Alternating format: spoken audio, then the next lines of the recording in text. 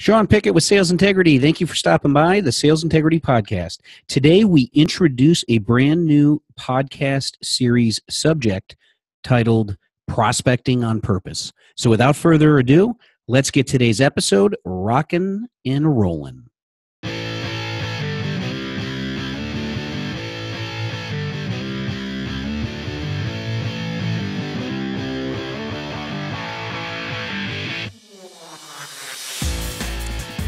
Hello, sales achievers. Welcome back to the Sales Integrity Podcast. Did you know that according to a CSO Insights sales compensation and performance management study, that a whopping 45.4% of salespeople miss their quota? So that means 54.6% of sales professionals produce enough revenue to meet their quota. And I looked back at the companies that we have worked with, and keep in mind this is companies that are in the B2B tech sales industry, if you will. They sell a complex technical product, service, or solution um, in a B2B setting, typically to senior executives and their buying teams, and it's a team pursuit sales cycle it's complex and consultative and really solution selling based, if you will. Um, but in our experience at Sales Integrity and working with those types of sales organizations and those sales professionals, um, and also mapping this against research that's out there, and there's a variety of research on sales pipelines, opportunities do sales reps have enough opportunities in their pipeline to achieve quota but what we found is that um, roughly 60% of a b2b tech sales professionals sales pipeline, existing sales pipeline, uh, actually has qualified opportunities in it. So that means the remaining 40% are not qualified. They're probably not good opportunities to even spend time on and pursue. Um, or they're just they, they haven't been put through the process of qualification and you just don't know whether they're going to make it or not so when we look at that you know we looked a little bit further and if you actually remove that 40% just focused on that remaining 60%, what we found is that even if the sales professionals have a 100% closing ratio, which means they close every single one of those opportunities that are qualified, that remaining 60%, they still wouldn't have enough opportunities in their pipeline to achieve their quota. So we realize that this is a real big epidemic in sales. Uh, we work on that specifically in our coaching programs, but to me, this is the number one problem for sales professionals and sales organizations in all industries, um, but especially in, in, those with a complex technical sale. And that, that those are the, the, the companies and individuals that we work with. So, given that, uh, I am currently writing a book, and the book's title is called Prospecting on Purpose. So, again, it's prospecting on purpose. And the reason why I'm bringing that up is because starting today, and moving forward, when I am delivering the monologue version of the Sales Integrity podcast, meaning it's just me and I'm not interviewing a guest, I'm going to focus on this concept of prospecting on purpose because I believe that there are so many professionals, organizations out there that need help with this that it would be a great thing to focus on and really kind of take components of the book as I'm writing this and talk through it on the podcast. The feedback I've gotten from a, a lot of the people that I've surveyed and talked to and our customers and just those that I'm out there in associations with and networking on LinkedIn this kept bubbling up to the surface as their number one struggle, which is making sense of all of the prospecting strategies and techniques and tools that are out there. And you look, there's social selling, and that's just in its monstrosity, it's a huge it's a huge topic there and there's a lot of moving parts associated to social selling. Um, then you, you've probably read a ton of articles out there on linkedin and otherwise that talk about social selling versus cold calling and is cold calling dead what's the right way to do cold calling and what what is the the right time to do cold calling if you are going to do it. Um, and then what seems to be kind of a forgotten lost art is strategic prospecting and leveraging your network. And it, it doesn't mean people aren't doing it. I'm, I'm, I'm very certain they are because as we work with sales professionals in the tech industry i know that's a huge component of it. Um, i've put surveys out there. We have a b2b tech sales professional group both on linkedin and on facebook. So i've surveyed uh, folks there and the number one um, tactic or strategy leveraged by by those folks based on those surveys came back as strategic networking being the number one source of opportunities um, that they're finding that result in business for them. So that's very much alive and kicking, but seems to be kind of put on the back burner and all of the popular articles that are out there. They all seem to be focused on social selling and um, and cold calling, and those two kind of versus each other. Um, and then, of course, there's the emailing strategies. And, and based on what we've seen in the industry, just the research we've done, this seems to actually be the number one tactic used by sales professionals. They're really relying on email. Um, and there's varying studies and stats that show it's effective, it's not effective, but all four of those strategies, if, if conducted and executed the right way, uh, could be very useful. So the the overall program that I've created and the book that I'm writing with the title of Prospecting on Purpose, it's really going to be a, an entire system that you can apply. And kind of the working subtitle for the book, this may change. The title is definitely staying the same of Prospecting on Purpose, but the subtitle is going to be called this: How to Establish Credibility and Generate More Leads by Systematically Executing Social Selling strategic networking, proactive calling, and emailing strategies. So, those are what I call the four cornerstones of prospecting on purpose. Social selling, number one, strategic networking, number two, proactive calling number three and emailing number four. Now it's not necessarily in that order but what i'm going to talk about is really a well balanced prospecting approach that incorporates all four working together uh, I think it's dangerous when I hear uh, some gurus out there, self-proclaimed social selling gurus, saying that cold calling's dead. It's all about social selling. Get information out there. Um, you know, get some, add some value. Have trigger-based selling, insight-based selling. Get get a whole bunch of content out there, and then leads are going to come raining out of the sky.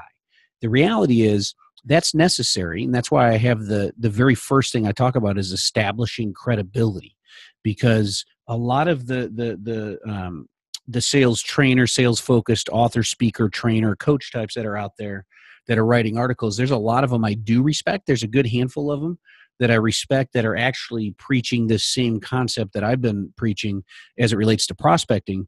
Again, which I feel is the number one challenge um, you know, and, and problem for all sales professionals that are out there is just continuing to prospect and have enough opportunities to achieve their goals. There, there are a handful of these folks that are out there that are talking about this well balanced approach. So I'm happy to see that and pleased to see that. I think there's way more that are that are drowning that out and kind of preaching social selling, content marketing only. And I just want to make sure that I caution sales professionals to do as much research as you can to and, go with your gut feel and your intuition. What really feels right? I mean, if you feel getting information out in the stratosphere and sitting back and waiting for people to call you is the right approach, um, then you know have at it. But I, I would just caution you that uh, your gut feel should probably kick in, and the reality o meter should be going off and telling you that you know what it takes a little bit more than that right? So just keep that in mind. So, really, those four cornerstones again of prospecting on purpose is a well balanced system of including each of these four cornerstones of social selling, strategic networking, proactive calling, and emailing strategies. So, moving forward, in the in the uh, podcast here again when i'm doing the monologues which are typically mondays and fridays wednesdays are the um, the interviews i'm doing of sales thought leaders um, I might actually do have two uh, interviews per week. I'm starting to stack up some, so I don't want to wait too long before I get those out there.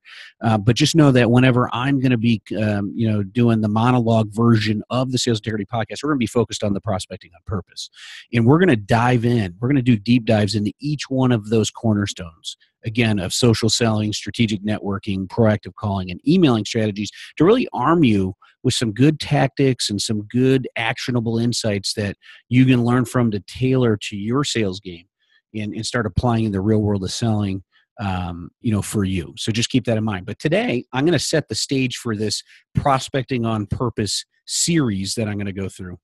Um, and if you have any questions on this and i really would like to start answering questions as well for our audience, and, and we are picking up a good audience as well.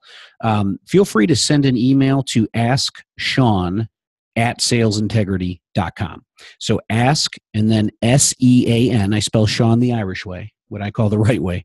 Uh, ask Sean at salesintegrity.com. So if you have any questions on prospecting on purpose, um, those four cornerstones of social selling, strategic networking, proactive calling, or emailing strategies, um, feel free to send them to me in advance and I can weave those into this prospecting on purpose series that we're going to do.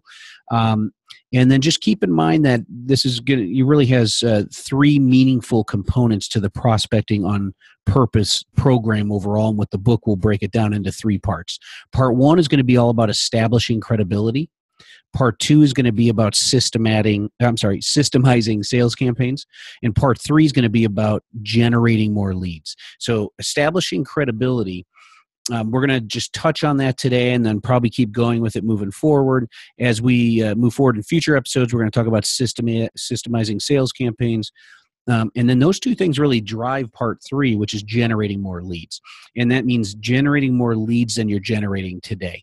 My assumption, and I know you should never assume, but my assumption is that you are prospecting and you do have a sales pipeline of opportunities and then you're doing that at some sort of frequent basis what this prospecting on purpose program is about is being consistent and systematic in the way you're prospecting i almost called this systematic sales prospecting the book instead of prospecting on purpose um, but i think that's getting you know that that's a little um, I didn't want people to think it was all about systems and technology because there is a mix of that.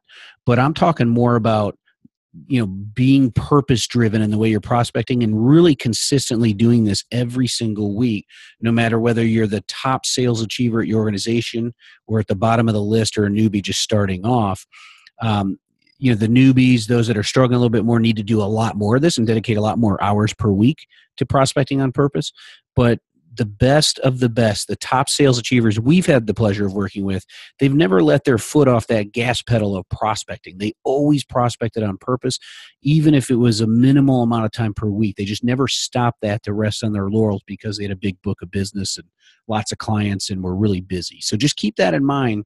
Um, no matter where you're at in your sales career and your sales success journey, that you should always be prospecting on purpose. And that's why I like that name um, because it, it, it keeps it top of mind to make sure that you're purpose driven and consistent in the way you're prospecting. So just keep keep that part in mind. Um, the the main thing when it comes to like today we're going to focus just quickly on establishing credibility. So one big benefit of social selling is that it provides you access um, to your target market audience um, they're out on LinkedIn, and LinkedIn's a real huge one. Uh, a bunch of them are out on on um, Twitter as well. Those are seem to be the two primary tools, social media tools that C level, VP level, senior executives um, will will be there, right? So, you know, and make no mistake about it. Back in the day, sales professionals had all the information pre-internet had more information than than the buyers. Today, buyers are well informed, as well informed as they ever were. And then I've gone through this in previous podcast studies show that um, they're two thirds of the way through the sales cycle by the time they raise their hand and reach out to a sales professional. They've done that research. Keep in mind that they're not just researching the solutions, the products, the services, um, you know, to solve their problems. They're also researching you as a sales professional because they have access to you. They could do a simple Google or Bing search um, they could pull you up on LinkedIn. They could pull you up on Facebook if you haven't protected your data there. Um, they could pull you up on Twitter if you are there, and they can see what you're about. So just keep that in mind that you have the chance to set the narrative there on the information that you put out about yourself through LinkedIn, Twitter, even YouTube if you have videos out there. So just keep that in mind. I'm kind of foreshadowing because I'm not just going to talk high level in this series, this Prospecting on Purpose series, I'm going to get into detail. Today, I'm setting the stage, so we're probably not going to get down to tactics specifically, but in the future Prospecting on Purpose discussion series we'll do here on the podcast, uh, I will get into specific tactics and try and narrow down to one tactic. Um, you know, per podcast episode, so we can keep it succinct. It's a big topic uh, overall. Prospecting in general is a big topic, but I want to make sure that um, I'm um, provoking thought, getting you to think differently about the way you prospect.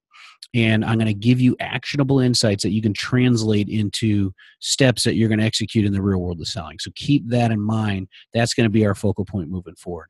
But when, when it comes to establishing credibility, um, the first thing that I'm going to focus on in the book and in the program uh, is all about that sales achiever mindset. Now, the good news is there's really four podcasts I've already produced earlier that you should refer back to. So I'm not going to revisit everything right here today, um, but there's four that um, will also show up right away in the book as it relates to establishing credibility in, in part one. And the the the chapter one is really going to be all about the sales achiever mindset. And really, episode number one, the very first episode of the Sales Integrity Podcast, talked. It asked the question: Are you a salesperson or are you a funded entrepreneur? And that really is all about that sales achiever mindset. So you should go back and listen to episode number one, the very first episode, if you haven't done so, because that really positions you to prospect on purpose, specifically as it relates to establishing credibility. You have to be credible. Credibility leads to trust. And customers, people will buy from people they know, like, and trust, right? And they can get a sense of your personality and who you are so they can get to know you through social media. They can get to know you through videos through articles that, and blogs that you're writing uh, through comments that you're writing out there and responses out in linkedin let's say um, to other people's articles or in groups for instance. Um, so you could start to establish credibility just by um, having that sales achiever mindset and looking at your sales role, your book of business, your territory as your own sales business, and that you're just a funded entrepreneur within the enterprise, that your company is your venture capitalist. They fund you to build your own business within their company. So that's what episode number one really talked about. So I'm not going to get into detail on that today. I just want to remind you of that, and and that sets the stage for establishing credibility. If you portray yourself and and the, or convey the confidence of someone who's an entrepreneur and runs their own business, you're you're going to do peer to peer selling. They're going to look at you as someone that has equal business stature to them because that's the way you're you're conducting yourself. So just keep that in mind. That's the first thing. Um, in episode number seven, we talked about the six core competencies of top sales achievers. And i'm going to i'm going to focus on that here for a second because i'm kind of translating that to establish credibility here today. But before i do that uh, two other episodes. One is uh, episode six and that was the one where i said make your sales pop to achieve your goals. Talks all about preparation organization and productivity. And that's really what professional sales professionals will do. So not only have a funded entrepreneur mindset but also uh, make your sales pop you know consistently prepare so you're organized and you're productive. That's also what it means to establish credibility and be someone who is credible. So keep that in mind. And then um, the other one is episode 16 when i talked about what it truly means to demonstrate sales integrity as a sales professional. So episode one uh, 6 and 16 or 3 you should go back and listen to. As it relates to episode 7 and the six core competencies, I'm just going to finish with this here today um, as it relates to establishing credibility. So you really understand what those top sales achievers are doing, the ones that have established credibility where clients and prospects find them, you know, through the credibility they've established through social media and social selling techniques, let's say. So, uh, first of all, let's just get into this. So, six core competencies of top sales achievers. Number one, top sales achievers know how to creatively get attention to connect with their target audience. So, they know how to creatively get attention to connect with their target audience. We're going to talk about how they do that and give some techniques. That's going to be an episode moving forward. Um, number two, uh, top sales achievers know how to establish credibility and trust as the go to specialist in their industry niche.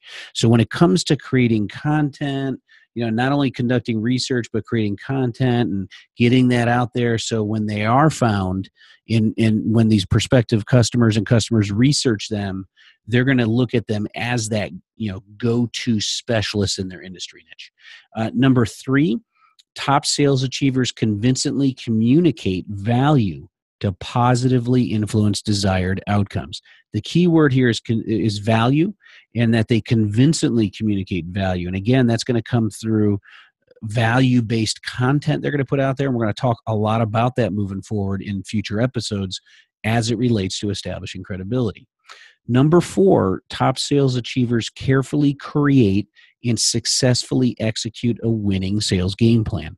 What prospecting on purpose is going to be all about is a winning sales game plan um, as it relates to prospecting. So just that front end of the of the sales funnel, the sales cycle, if you will, the overall sales process. So just keep that in mind that that's number four that top sales achievers carefully create and successfully execute a winning sales game plan. Number five, top sales achievers control their focus to efficiently manage time and minimize distractions it can be very overwhelming as it relates to prospecting. That's why it's the number one problem. People don't know where to begin. They're fed so much information. So, my goal moving forward, and that's why I'm going to narrow the focus down and be very succinct in the future episodes for this series, this Prospecting on Purpose series.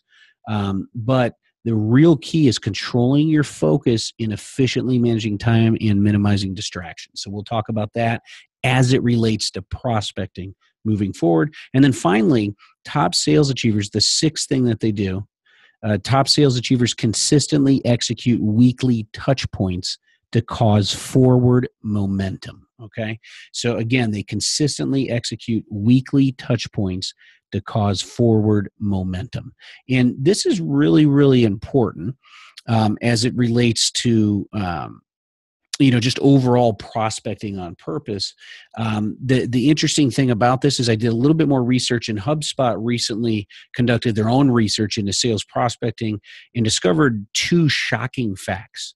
Number one 44% of salespeople give up after one follow-up so 44% of salespeople give up after one follow-up number two 80% of sales require five follow-ups so let me repeat that 44% of salespeople give up after one follow up, yet 80% of sales require five follow ups. So this is glaringly obvious, the, the takeaway here. This means that 44% of salespeople have an 80% probability they won't close the sale. Right. And too often we give up after one follow up email, despite data proving that multiple follow ups are required. Right. And persistence is only one lesson that can be learned from that statistic. So just keep that in mind as it relates um, to prospecting on purpose. You know that six core competency of consistently executing weekly touch points to cause forward momentum. If your approach to prospecting is flying by the seat of your pants, winging it on a daily basis, and just kind of getting to it when you get to it or when you need to go find more leads because you've either closed or closed out or lost all your opportunities that you were working on, then you're not prospecting on purpose. So, we're going to focus on how to prospect on purpose and really how to establish credibility and generate more leads by systematically executing social selling, strategic networking, proactive calling, and emailing strategies moving forward. But that'll wrap it up for today's episode. That just really sets the stage. I wanted to provoke thought today and get you in the right mindset to start thinking about um, what you're doing as it relates to prospecting and your overall prospecting game. So, the major takeaway today is to ask yourself one question Am I prospecting on purpose? That's just the major takeaway from today. Ask yourself that question. Be very candid and honest with yourself.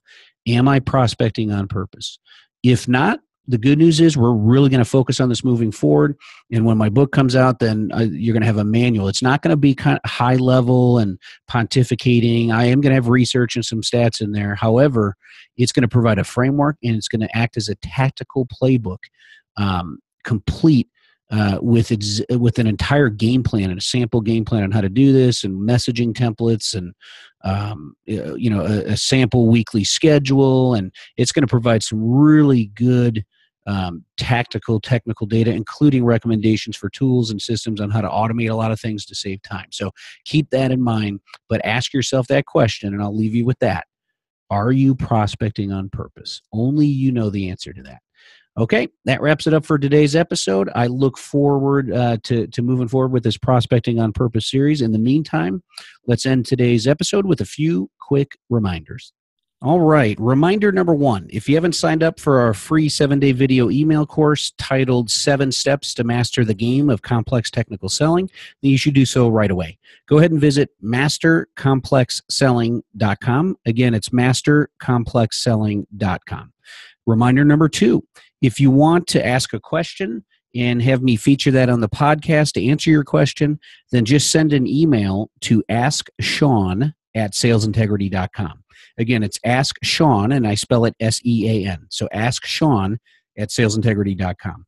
Uh, number three, if you haven't already done so, please rate the show. If you've been listening a few times and you get a sense of what the show is about and you feel comfortable, uh, I greatly appreciate a five star rating and a quick one to two sentence review. You could do so on iTunes. Just search for the show and then click the uh, ratings and uh, reviews and go ahead and just add it there.